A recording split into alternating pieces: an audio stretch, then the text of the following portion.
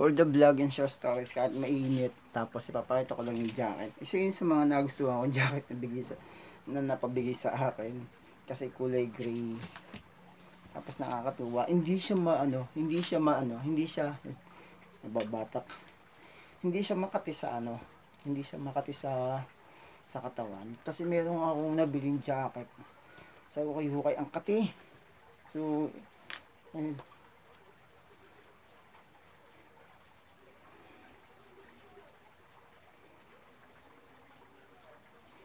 Teka, teka, mali mali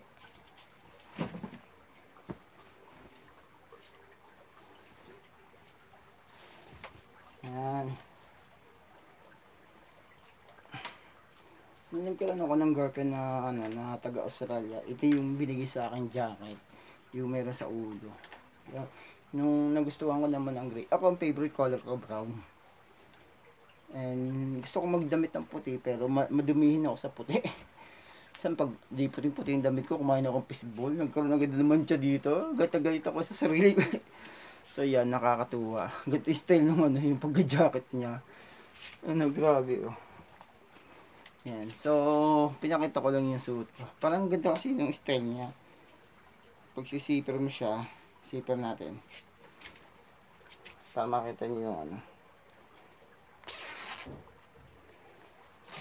Ganyan oh. Maganda. Unique. Nasa tagiliran. Yan. Ayos ano. Ibang style. So, ano andyan so. Yan. Kakaiba. So, yun lang naman. Parang kinukoberan niya yung leeg. So, yun lang naman for the vlog and short story. Sa video nito yung masamang masamang comment mabuti. Wala pong pinagkaiba yun. Pabor po yun sa may channel. Model ano.